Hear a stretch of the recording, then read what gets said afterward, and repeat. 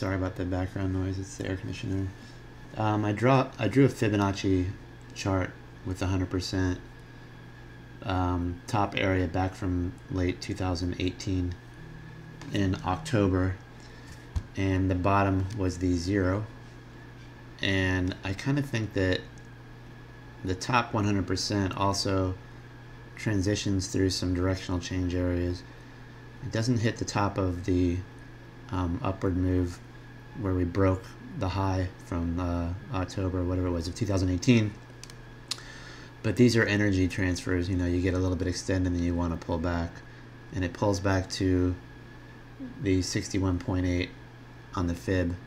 Um, I know there's a lot of lines here, so just bear with me and I'll clear it up in a little bit and then we pull back again we can't get to it we can't get to it and then we push higher and the extension brings us to the top low which is 213 50 214.92 so the 214.92 area is going to be an, an overextended area um, that I think we're going to if we can keep this power going that we have in the, in the market, that's going to be a big area of closing resistance. Doesn't mean we can't push through there.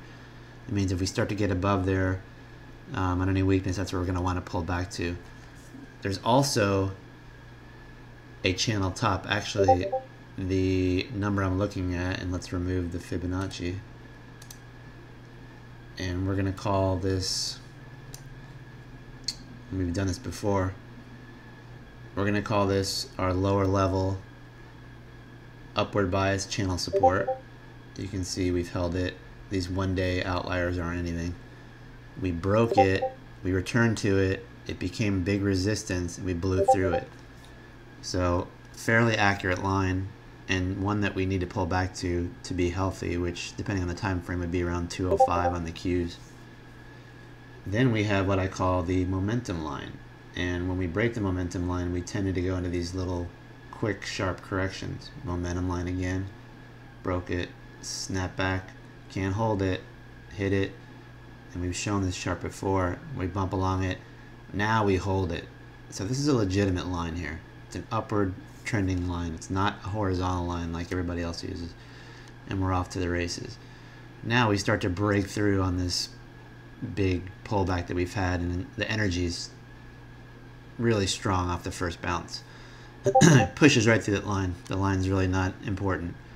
Um, it gets important when you get into this area here because you have an open above it and a close right below it, which precedes the big move down.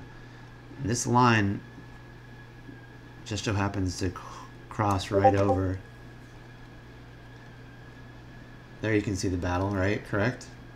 Lower line battle, pretty fair, right? Pretty fair assessment. Open below it, wants to fire up higher energy still down, hit it, and it hits that line on the bottom right before the pullback, and now it hits it once, twice, three times, and pushes through.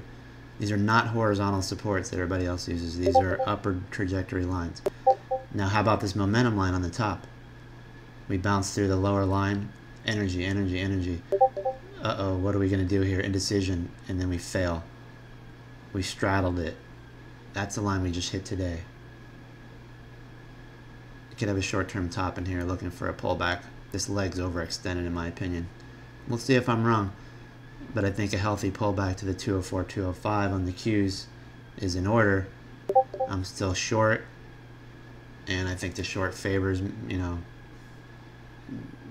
you know, the, the risk reward for me is better holding this short. Um, if we push through to the upside, God bless. I got a lot of longs too that'll help me out. They're not in the Qs. Some of them are, some of them aren't. You know, I'm still holding Boston Scientific. I got stuff too that'll help me out.